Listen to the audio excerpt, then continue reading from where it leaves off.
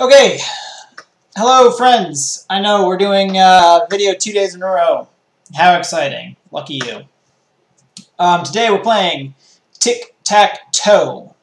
Uh, it is a King of the Hill three-check game, four-player. Um, what to say about this one? Uh, so, you have a Royal King, three checks and you're dead. But if you get that Royal King to the center, that is checkmate for all the remaining players. Uh, looks like blue doesn't know what he's doing. Yellow apparently doesn't know what he's doing either. Uh, but, uh, yeah, so two new newer players. Yellow should have seen that. Maybe just was blind, had a blind spot, but Anyway, the uh, the goal here, as I said, is to get your king to the center. In most cases, that's a win, although you do have to do some math sometimes. Um, if there's only one player remaining and you get to the center, that's only 40 points, which in some cases might not guarantee a win. So, um, what am I saying this for? So, uh, a lot of times people think, oh, you get to the center, you win. Here's a check, by the way. Um, but it's not always the case. Sometimes it's worth doing some math before you uh, you go for that strategy. Otherwise, you might find yourself in second place when you thought you had a win. Um, knights are the most valuable pieces on this uh, on this board. So a knight for a pawn trade, getting this down to one check, getting blue down to one check would not be a stellar idea. Usually the person who has both knights remaining for the longest is the winner. Usually, rule of thumb. Rule of thumb. So definitely a bad idea to get rid of your knights early on. Um, speaking of getting rid of your knights, so I have to flee here. I think this is probably a good move, blocking uh, the entrances, both entrance squares in the middle. Um, a common early game tactic, as I was saying, is to trap the knight. If you get a king out here, then here, with both of these squares blocked, uh, then the knight has nowhere to run except for here, and you can uh, easily clear these two squares, push a king here, and get a free knight. So that's a common early game tactic. Uh, looks like that's not going to work for me this time, although I'm I have some foreshadowing going here. I'm predicting one, two, or in this case two. So let's start with this. Knight recaptures. I can go here eventually, take a pawn, uh, unless it's defended. This is, like I said, something that I saw coming, but I'm not in a position where green can take advantage of that. Um, it is just one check, and blue is giving up a knight for it, which is not a great idea. So, what now? Um, I can move a knight here and attack blue, maybe give a check. I can move a knight here and attack green, although that's easily defended, so I don't think I'm going to go for that. Uh, yellow is attacking me. Yeah, so if y'all have been paying attention, uh, this is the strategy that I was talking about. You get a king out here, in oops, into the corner, and with both of these squares blocked, that blue knight has nowhere to run except for here, and he either has to give himself up or be captured free. Uh, so, very common tactic here. Um, other than that, well, there is one other thing. Other than, uh, here's another check, by the way. Now, I have to be careful. If I give a check, Blue can move. Yeah, and then yellow has a turn before I have another turn. So here doesn't concern me, yellow can't give a check. Here uh, doesn't concern me, yellow can't give a check. However, with that move, I get checkmate there. A cool 40 points in the bag, putting us comfortably in the point lead. Um, okay, so the knight tactic that I talked about, the other thing to watch out for is uh, stalemating yourself, which, believe it or not, is pretty easy to do in the early game here. If you have kings on these four squares with pawns on these four squares, that is a locked, those are two locked uh, ranks. There's going to be no movement um, in those positions with those eight pieces there. So as long as you avoid that, you always leave yourself some way to escape with the kings that you're promoting. Um, generally, you are uh, safe. Speaking of safe, uh, I like this. Hmm, maybe not so much. Here's a move unless green defends but I definitely want to take advantage of that if I can. Looks like I won't be able to. So I'll promote, try to weasel my, my way out over here. Maybe make something happen with my knight. We'll see. I feel like somebody's watching me. Yeah, we have a spectator here. okay, but this game is going well so far. Uh, again, two uh, not so challenging opponents. One opponent who might be a bit overrated. um, but hey, a win is a win, and every point counts. Not that I'm counting this as a win just yet. Don't want to jinx myself, but we're looking good. So run these two pawns up and I'll have a route to get to the middle with my king. This is a locked position with green. He can't enter. I can't enter. No one's going to be getting to the middle on that corner unless someone moves. Now I am a little concerned a move like this or this would attack my rook. And although the rook is 5 points, a rook for a knight trade is generally advantageous. Uh, like I said, knights are probably more like six or seven points on this board.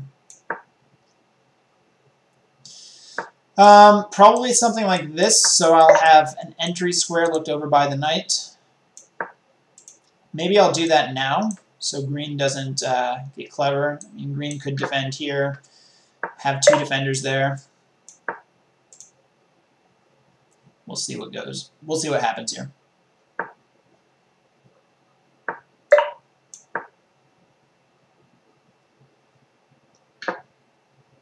A rook for a king trade favors the side losing the king. So this would, I'd like to see that. Again, it is a, a two-point uh, differential there.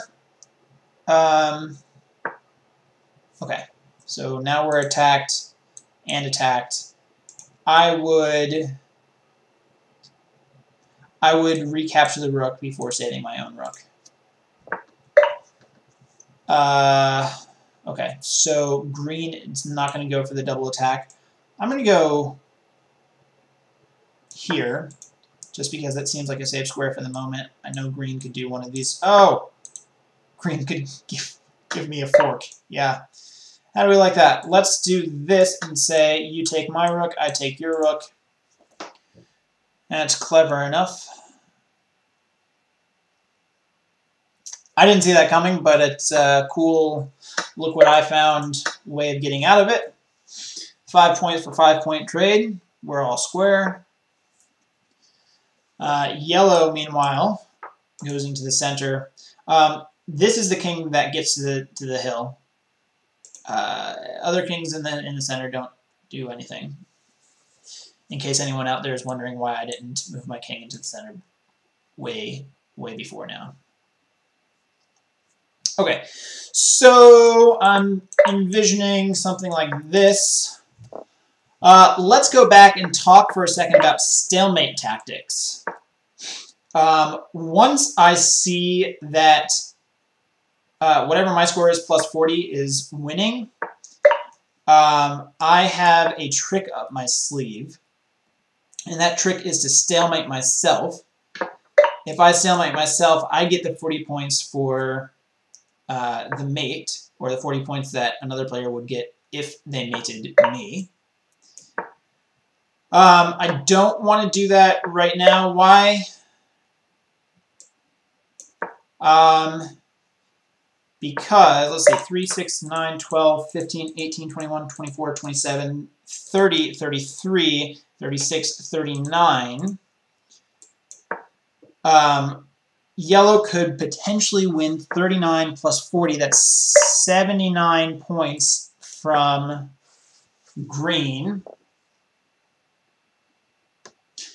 Yeah, you know what? Doing the math, uh, I'm going to do something that I should have done a long time ago in this game. So busy talking about how I'm going to get to the center and get a good position here that I completely ignored the fact that um, I can't be caught. So I'm going to start getting the that position that uh, set up that I described. Kings on the back rank, pawns on the on the second to last rank. Uh, let's just make sure 3, 6, 9, 12, 15, 18, 21, 24, 27, 30, 33, 36, 39. So 79 points either way. 79 plus the 13 there is 92. Uh, that would be tied with me. So, that's not going to happen, right? You know what? I'd be willing to chance the uh, the tie for first and second place if green did manage to get all of those points from yellow. Um, it's not going to happen. Or, you know, what I could do is just take down one of yellow's pieces with me as my last move, and that would ensure that I can't be caught. So yeah, uh, stalemating myself here. Let's do something like this. Although if green starts capturing my pieces, um, it could swing swing that balance. So I want to keep track of how many of my pieces green is capturing. Uh, this make yellow think about it for a second.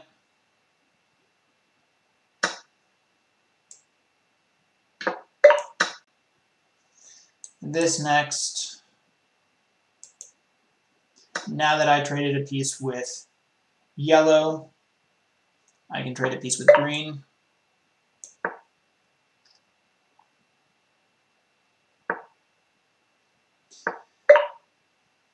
Um, but I probably don't want to. I want to trade more with yellow.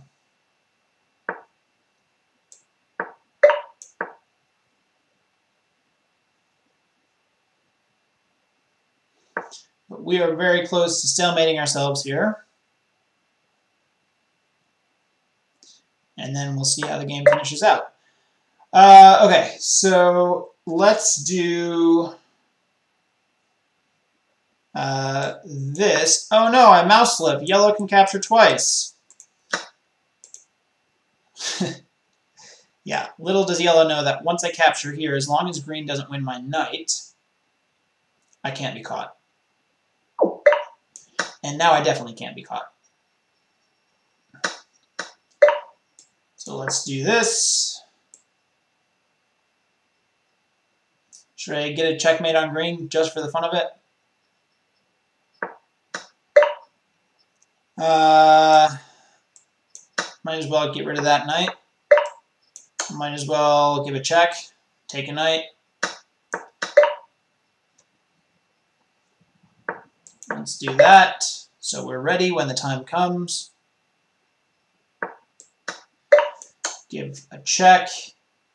Make sure that yellow is not going to get to the center before I give the checkmate on green, or stalemate myself.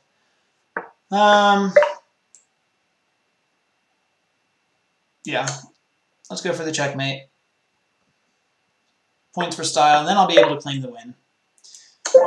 Alright. Well, just to show you what I was talking about, I know you're all super excited to see this. Come on, y'all. Take it. And plus 40 points for me with the stalemate. That's a cool 3.1 points. All right, so anything to recap on that game? I don't think so. Um, that was tic-tac-toe. Not a very challenging game uh, because of the opponents, but it can get uh, it can get pretty technical with uh, higher rated opponents. So um, again, thanks for watching, guys. Uh, two videos uh, back to back. Not saying that that's going to happen again. Uh, we skipped a week last last week, uh, but uh, who knows? Keeping my options open. Anyway, thanks for watching. Hope you all enjoyed, and we'll catch you in the next one.